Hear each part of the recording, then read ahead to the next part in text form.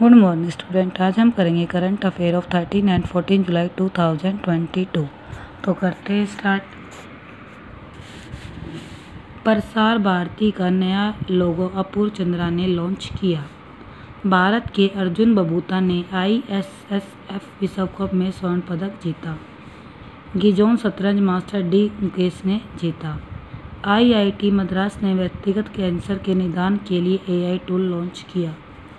खान मंत्रालय ने खान और खनिजों के लिए छठे राष्ट्रीय सम्मेलन की मेजबानी नई दिल्ली में की। भारत में नागपुर में सबसे लंबा डबल डेकर फ्लाईओवर बनाने का रिकॉर्ड बनाया।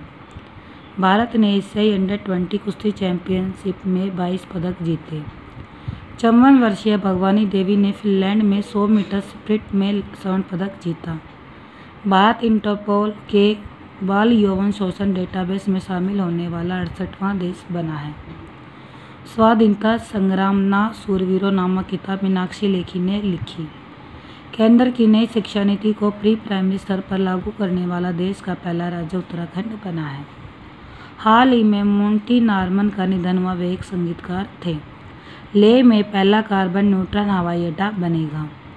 प्रधानमंत्री मोदी ने झारखंड के देवघर में हवाई अड्डे का उद्घाटन किया।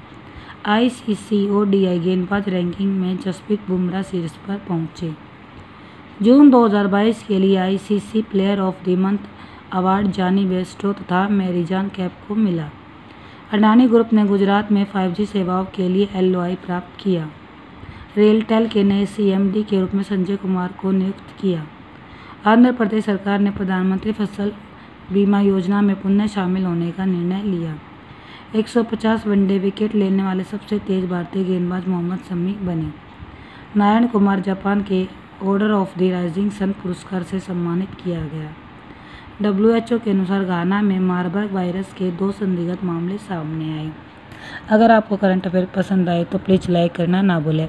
और साथ ही अगर आपको बाकी के करंट अफेयर चाहिए तो आप गीता ठाकरन चैनल पर जाकर देख सकते हैं। Thank you